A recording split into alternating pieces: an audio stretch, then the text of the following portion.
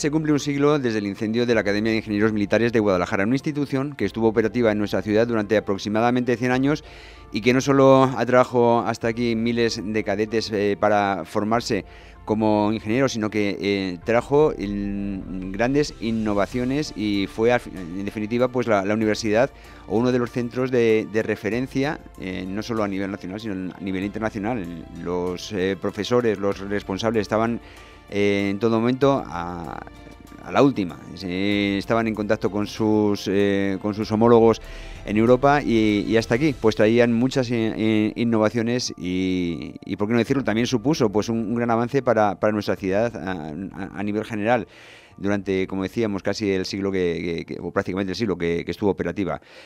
Lamentablemente, todo esto se venía abajo con un incendio, del cual también decíamos hace ahora 100 años, y del cual nos va a hablar pues alguien que lo ha investigado mucho y muy bien. Yo creo que es el único autor que se ha ocupado del incendio de la Academia de Ingenieros de Guadalajara.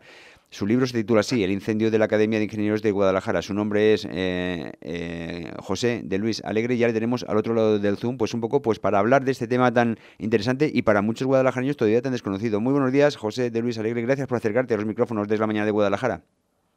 Muy buenos días, José Luis. Encantado de estar con vosotros. Mm. Bueno, vamos, eh, lo, primero que hay que hacer a la hora de hablar de cualquier cosa y sobre todo de esta academia es contextualizar cómo llega la, academia aquí a Guadalajara y por qué.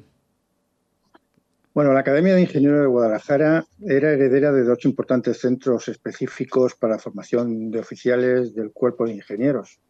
La Real Academia de Matemáticas de Barcelona, creada por el Marqués de Berbumne en 1720, y al cerrarse esta en 1802, la creación de la nueva Academia de Ingenieros en Alcalá de Henares, que permanecería abierta en esa localidad hasta la invasión de las tropas francesas en 1808.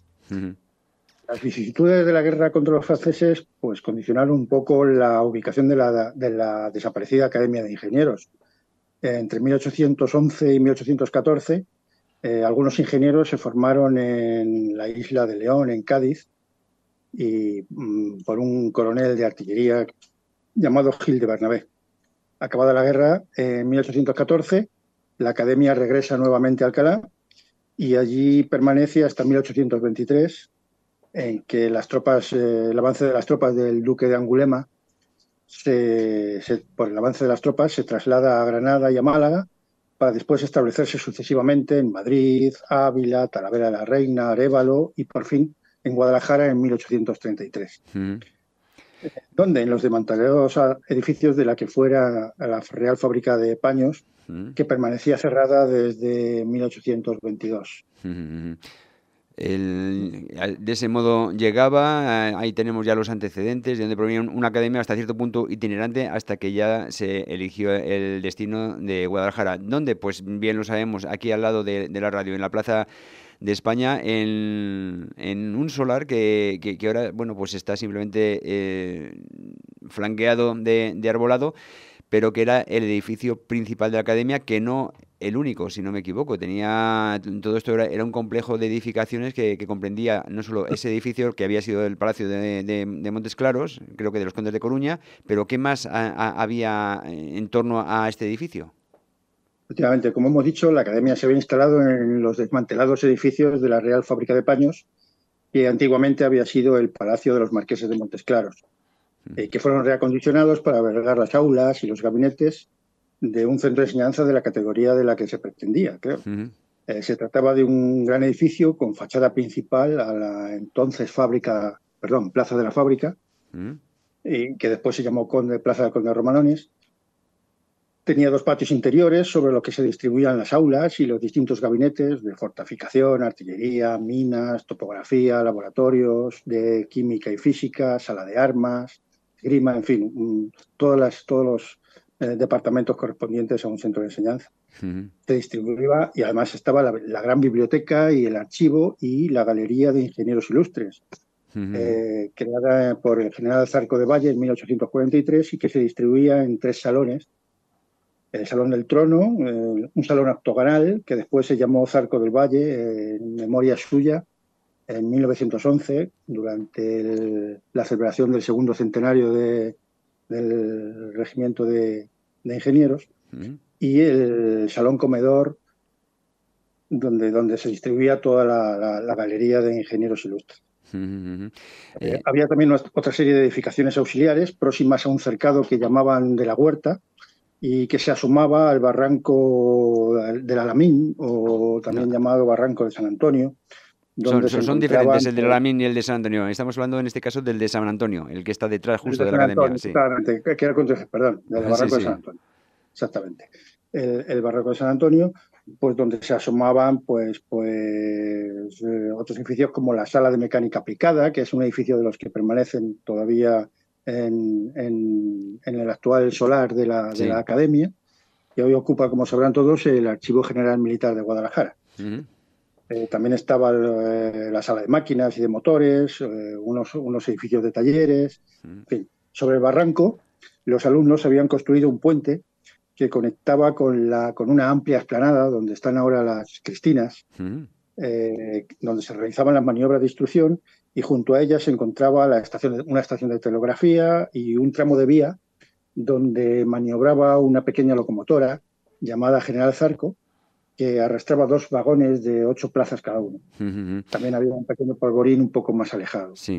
Sí, me eh, parece que también había una, torre de... Más o menos que, ocupaban, que ocupaba la, academia en Guadalajara. Sí, estamos hablando, ya lo tenemos más o menos ubicado, pero vamos, que, que, no, solo era, no solo era este edificio que fue el que ardió, sino también el picadero que, todavía se conserva, que es el archivo, sino una compañía que, existía detrás con, un, con, militares eh, que sí residían allí, ¿no?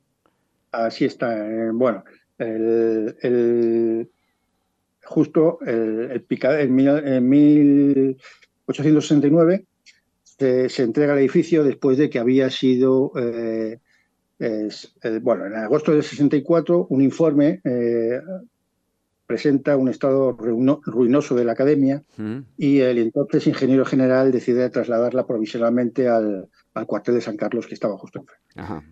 Eh, ante, el, ante alarmados por la posibilidad de que la, de que la academia abandonara Guadalajara, pues el ayuntamiento y la diputación eh, piden a la reina restaurar el, edificio y así, así lo consiguen. Eh, y esto se realiza en 1867. Se hacen estas nuevas instalaciones que, terminan conformando todo. se había reestructurado el edificio porque ya la antigüedad del, del, edificio amenazaba ruina y, el, ingeniero, el ingeniero general había incluso proyectado, había mandado proyectar un mm. nuevo edificio de nueva planta en Madrid. Y ante mm. esta situación, pues claro, la del ayuntamiento pues deciden restaurar el edificio para que se siga Para retener aquí la, eh, eh, esta academia, efectivamente. Bueno, ya hemos descrito un poquito el, continente, por así decirlo. Ahora vamos a ver las disciplinas que se, y también un poquito de las disciplinas que, se aplicaban aquí en el contenido. Aquí venían cadetes para formarse como ingenieros, pues ingenieros militares, pero en distintas ramas, como no lo sé, ingeniería de caminos, telecomunicaciones, puentes, que todo esto se estudiaba aquí, ¿no? Estudiaba. Efectivamente, en la academia se realizaba una enseñanza teórica y práctica y esta, última era de, vital importancia, hasta el punto de que eh, todos los años se realizaban eh, ejercicios de la escuela práctica y en ellos se ponían de manifiesto pues, las habilidades o destrezas que habían realizado los alumnos durante el año ante las autoridades eh, militares y los mandos de ingenieros. Es decir, las clases en la academia se iniciaban sobre las 9 de la mañana y finalizaban perdón, a las 2 de la tarde. Mm. De 3 y media a 8 menos 20 más o menos se distribuían las tandas de ejercicios de equitación y todos los sábados del curso, entre las 3 y media y las 6, eh, se realizaba la instrucción militar. Eh, podríamos decir que la Academia era un centro universitario científico de primer orden y en ella se estudiaba durante cinco cursos además de las enseñanzas puramente militares, como la táctica, la estrategia, el armamento, esgrima, equitación, etcétera, pues también todas las asignaturas propias de una carrera politécnica, álgebra, trigonometría, física, óptica, química, topografía, hidráulica, construcción, geología, electricidad, en fin, etcétera. Eh, salían...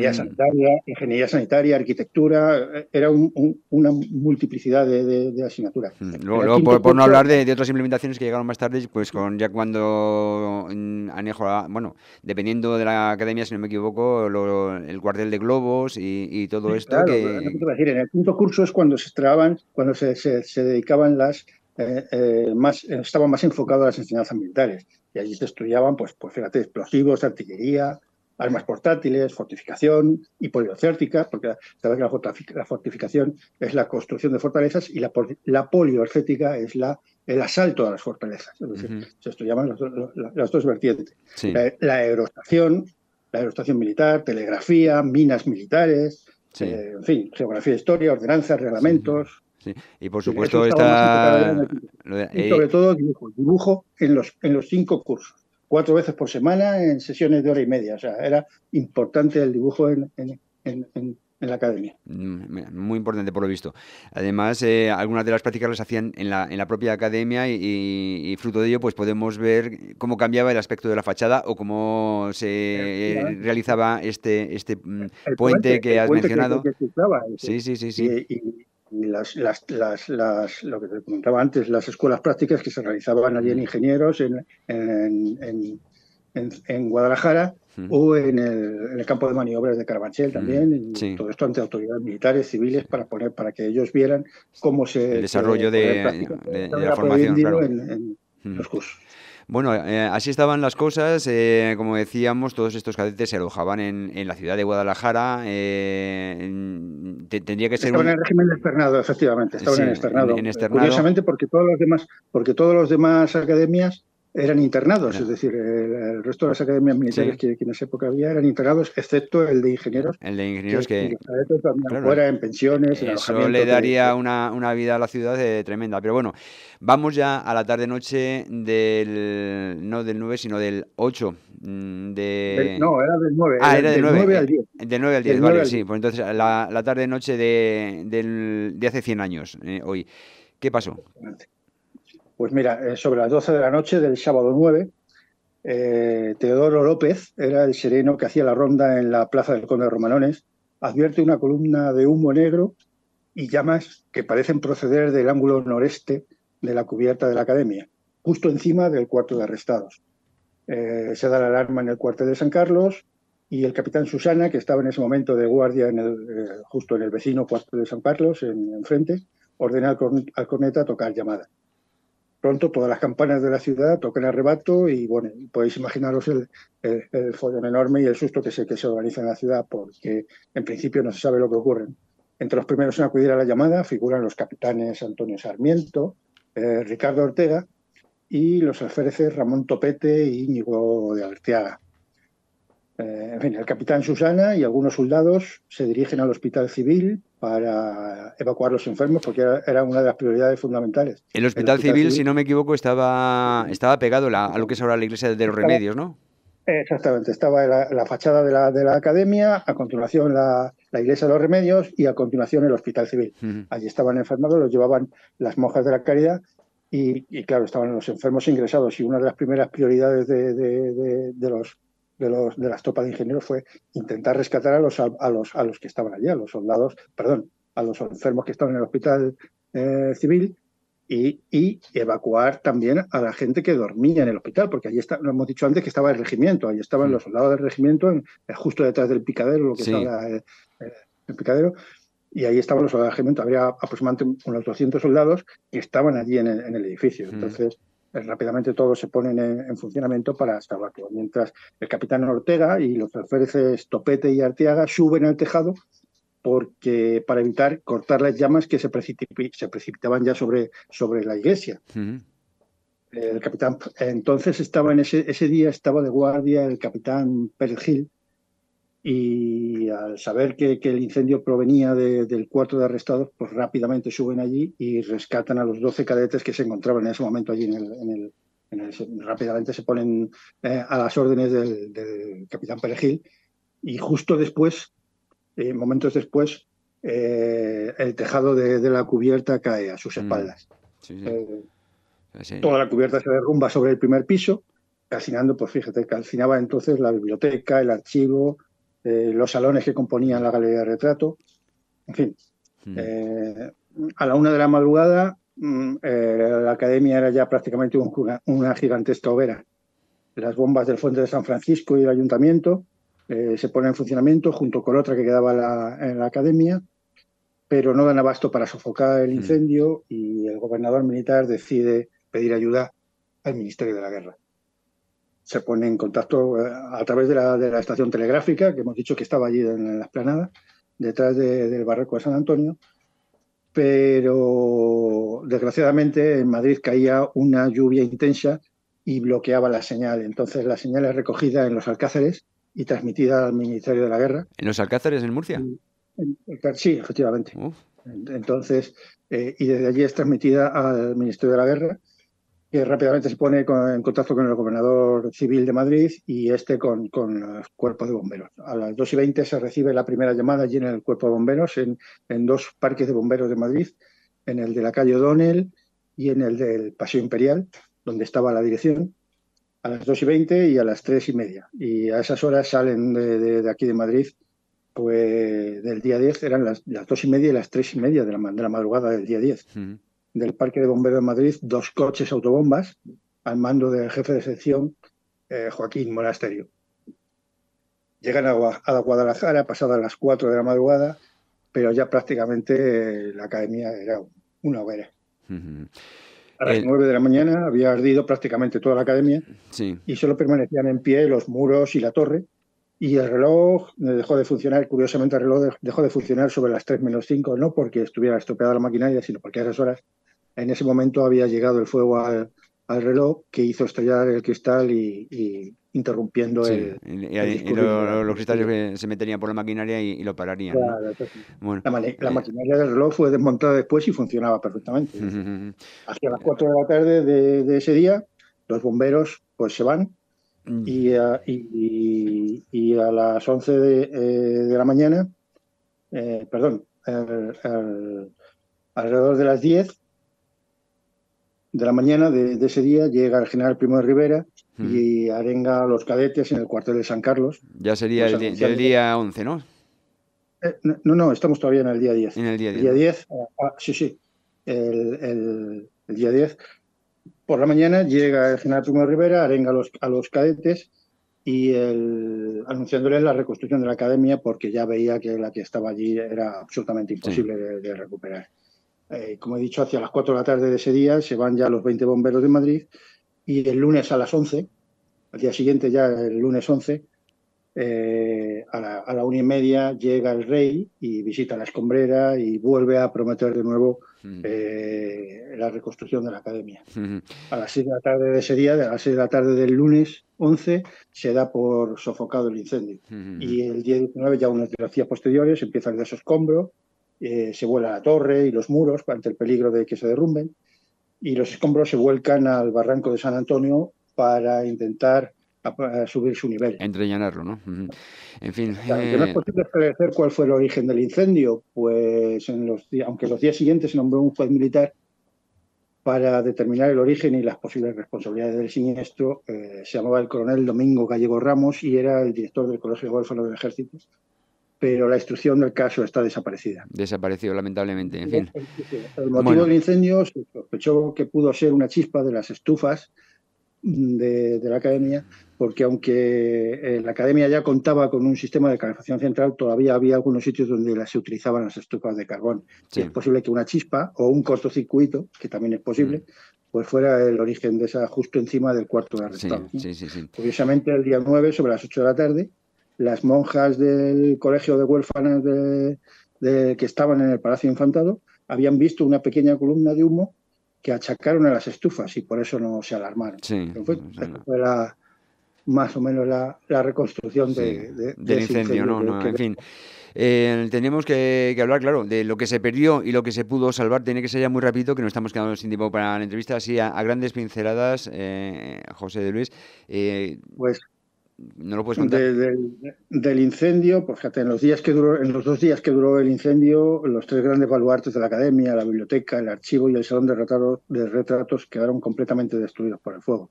En la biblioteca se conservaban más de 28.000 volúmenes, que algunos procedentes de la Academia de Matemáticas de Barcelona. Y en el archivo pues, se guardaba la historia de la academia de su formación y los expedientes de los ingenieros que habían pasado por allí, por la academia y sobre todo eh, se perdió algo de, muy entrañable para los ingenieros, que era la galería de, ingenieros ilustres, de retratos de ingenieros ilustres que había creado el general Zarco en 1843. En ella se exhibían 104 retratos entre óleos y ampliaciones fotográficas, de los que solo se lograron salvar 31, 19 mm. óleos y 12 ampliaciones fotográficas. De las 12 ampliaciones fotográficas que se salvaron ese día, hoy solo hemos podido rescatar, podemos, podemos contar con, con porque se perdieron nueve de ellas. Mm, Además, se perdieron otros retratos y objetos que se hallaban en otros espacios de la academia. Pero se salvaron del incendio los retratos del rey Alfonso XIII, aparte de esos 31 retratos de ingenieros ilustres, mm. también el retrato del rey Alfonso XIII, se salvó eh, otro del, del archiduque Juan de Austria, mm. otro de, del teniente Jorge Porrúa, en fin, el medallón de bronce de, de Zarco del Valle, también se perdió el magnífico cuadro de grandes dimensiones que representaba la imposición por la reina Isabel II de las corbatas de la Orden de San Fernando al regimiento de ingenieros. Sí, vamos. Que era del. Pero en cualquier caso, y a pesar de, poder haber rescatado alguno, era, era lo mínimo que, se podía rescatar porque, en fin, entre la biblioteca, entre la galería de retratos, entre seguramente muchísimo instrumental y muchísimos expedientes. los gabinetes que en sí mismos eran pequeños museos, de química, de material de construcción, de topografía, de fotografía. Todo eso, o sea, tremendo. Eh, si, no me, si no me equivoco, y contrariamente a lo que muchos pensábamos, después del incendio, las clases, a pesar de todo, continuaron y la como se pudo y durante, durante unos años hasta la definitiva desaparición de, de la academia, ¿no? Sí, efectivamente. Eh, una de las principales preocupaciones del director de la academia y del cuerpo docente, lógicamente, era intentar que el, terrible accidente interfiriera lo menos posible en el devenir de la institución, lógicamente, porque los alumnos seguían allí dando clases y, para lo cual se tomaron las medidas necesarias para establecer la normalidad de la enseñanza. Las clases se llevaron a efecto en los locales de la Diputación, en algunos locales de la Diputación, del Instituto General y Técnico y del Ayuntamiento, además de edificios que habían, mm, se habían conseguido, gabinetes que se habían conseguido salvar del incendio. El incendio de la Academia de Ingenieros de Guadalajara eh, supuso un duro golpe no solo para el patrimonio cultural del ejército, sí. pero fue igualmente para la vida social y económica de la capital. Y las autoridades y el pueblo de Guadalajara vieron pronto que su pérdida tendría unas dimensiones catastróficas para la ciudad. Y así se lo hicieron saber al gobierno y a los responsables civiles y militares. Eh, las promesas de reedificación que se habían hecho tan vehementemente en los días posteriores al incendio no llegaron a materializarse nunca. Si bien es cierto que la Comandancia de Ingenieros de Guadalajara había recibido órdenes para confeccionar un proyecto de reconstrucción eh, que fue redactado por el teniente coronel Ernesto Villar y Peralta en, tan solo dos meses después de que, del incendio. Eh, para ello se habían, se habían confeccionado presupuestos y se adquirió y se tenía proyectado adquirir el hospital y los terrenos eh, del hospital. Mm, se dotó con 300.000 pesetas y se formalizaron las escrituras. Incluso el ramo de la guerra adquirió esos terrenos para reconstruir en Guadalajara. Pero en el año, una ley del año 33 eh, devolvió el hospital y, los terrenos al Ayuntamiento de Guadalajara. En la agenda del directorio, que era, el general Primero Rivera, figuraban ya los planes de reapertura de la Academia General y, y con esa reapertura eh, prácticamente desaparecía la, reconstrucción de la, de la, de la Academia de, la Porque, porque efectivamente, lógicamente, la reestructuración del ejército y la enseñanza militar que trajo consigo el advenimiento de la República, pues provocó que, siendo los decretos de, de, junio de 1931, se disolviera la Academia de Ingenieros y se refundieran las academias especiales, fusionándose entre ellas y la de ingenieros se trasladó a Segovia. En el año 1931 ya Sí. Eh, eh, con ello voló ya cualquier posibilidad de reconstrucción de la academia en Guadalajara. En fin. me parece que hubo incluso la población eh, civil de Guadalajara, creo que también se, concentró para tratar de impedir que. Sí, pero prácticamente ya la decisión del gobierno estaba tomada. Estaba tomada. Y, al, fusionarse las academias y trasladar la de, como, como, te he dicho, la de, la de ingenieros se trasladó a, a Segovia, fusionándose con la de artillería, y la de caballería se trasladó a Toledo para, para fusionarse con la de infantería. En Prácticamente estaba ya decidido.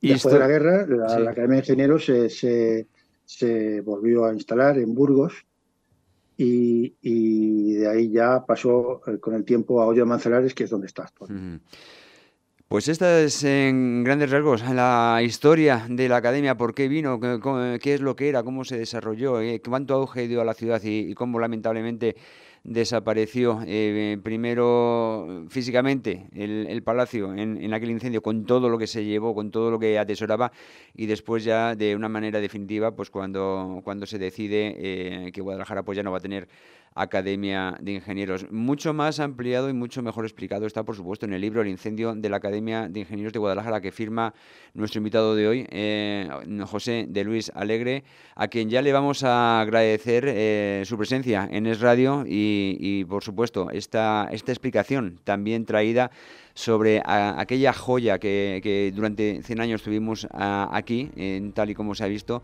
que fue la Academia de Ingenieros Militares de Guadalajara. Muchísimas gracias, José de Luis Alegre, por este ratito y, por supuesto, por el documento que firmas que no tiene ni pizca de desperdicio. Muchísimas gracias a vosotros, ha sido un placer. Muchas gracias, José Luis, encantado.